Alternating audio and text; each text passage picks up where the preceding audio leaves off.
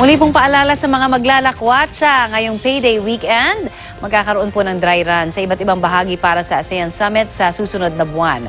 Sa linggo naman, magkakaroon po ng tatlong senaryo ang dry run.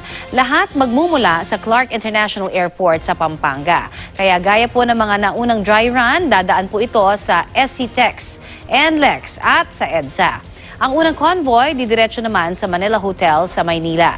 Kaya naman, apektado po ang SLEX Skyway, Buendia Extension, Diokno Boulevard at Rojas Boulevard. Ang ikalawang convoy, didiretso naman ng Bonifacio Global City. At apektado po ang McKinley Street at mula 5th hanggang 30th Street sa Taguig. Ang ikatlong convoy, sa Peninsula Manila Hotel naman sa Makati ang destinasyon, kaya apektado po ang Ayala at Makati Avenue.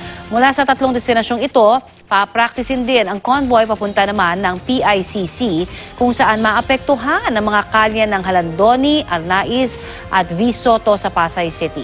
Payo po ng mga otoridad sa mga motorista, humanap muna ng mga alternatibong ruta.